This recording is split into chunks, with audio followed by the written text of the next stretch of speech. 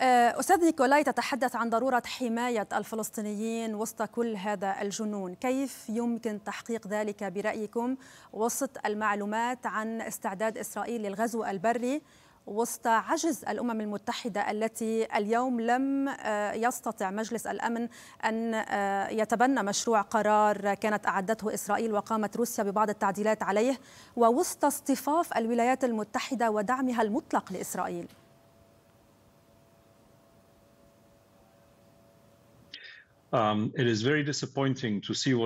إنه لمخيبا من الآمال أن نرى ما الذي حدث في مجلس الأمن اليوم لأن هذا يعد إهانة لقانون القانون الإنساني الدولي. هناك مقاربات مختلفة لمساعدة المدنيين في غزة. أولا لابد من وصول المساعدة عبر معبر معبر رفح إلى غزة. ثانيا خيار المناطق الآمنة في منطقة الجنوب من غزة حتى بحيث يتم السماح لكبار السن والأطفال والنساء المرور. ثالثا لابد لنا أن نضمن أن إسرائيل تسمع هذه الرسالة وهي حماية المدنيين في ظل العملية العسكرية وأن يتم التمييز بصورة واضحة بين العسكريين أو الميليشيات الذين يطاح يعملون على ملاحقتهم والأبرياء. هذه الخيارات لابد من اتباعها خلال الأيام القليل القليلة المقبلة. وأنا سعيد لأن مصر تترأس هذه النقاشات ونأمل أن نرى قرارا مباشرا في فترة قريبة. كل هذه الأمور قد تكون مجرد إجراءات مؤقتة. الحل الأصلي يجب أن يكون حلا سياسيا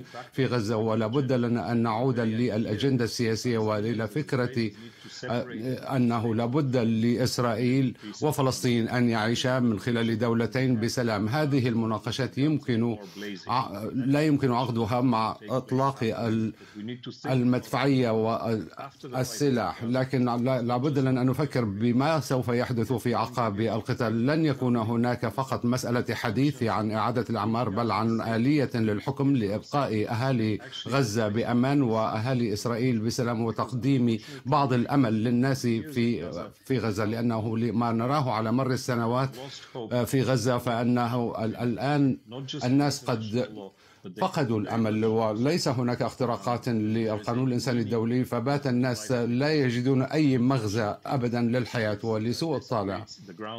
هذا الأمر يشكل الأرضية للتطرف ول تعاطي الناس مع هذه المسألة من خلال تبنيهم أيديولوجيات متطرفة. لهذا السبب لابد من حماية كافة الأطراف. لذا كما قلت لابد من النظر بجملة من الخيارات في الأيام المقبلة لكن الإجراء يجب أن يتم أن يتم فورا حماية المدنيين ولابد من استمرار السلم. لمتابعة المزيد من الأخبار والبرامج والقصص الإنسانية والوثائقيات والتقارير لا تنسوا الاشتراك بقناتنا على يوتيوب الضغط على زر الإعجاب وتفعيل جرس التنبيهات.